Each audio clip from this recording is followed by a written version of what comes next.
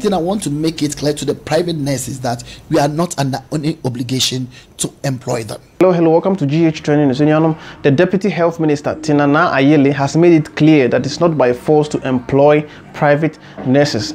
There is no bond that states that if you go to private nurse, you should be employed or you should be posted. They are doing you a favor by employing you.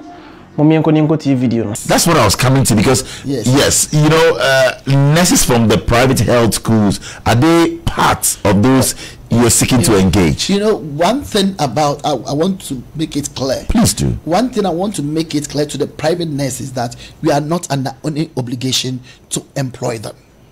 We don't have any bond with them. We don't have any MOU that states that they should finish and then we employ them they know it. And since they have not been employed.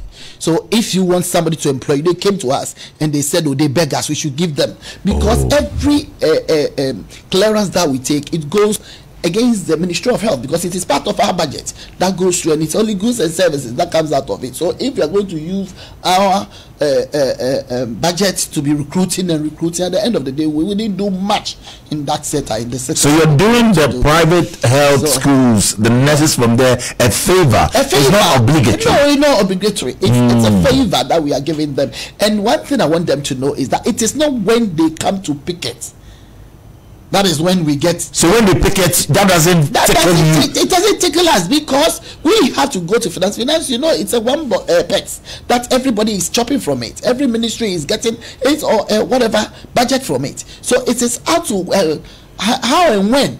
So they shouldn't think that when they picket or when they come there and then no, they shout because, and scream, because, because, then you attend to them. No, because we are always working to get it for them. Mm we are always working to get it for them. So if they come maybe by, by the time they come we are almost at the finishing point. That is where we get it from them.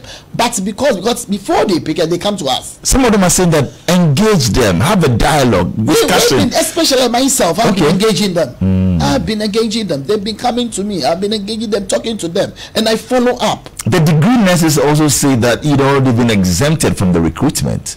What yes, is the situation uh, with that? you, you see um, we are also working on that one and all this uh, clearance and getting people and picketing will stop so very soon. Twenty thousand that we recruited, eleven thousand whatever that we are we, we recruiting are not the people that we came to meet, and the, the people that we during this uh, uh, people that finished in this 2017 that this government was established.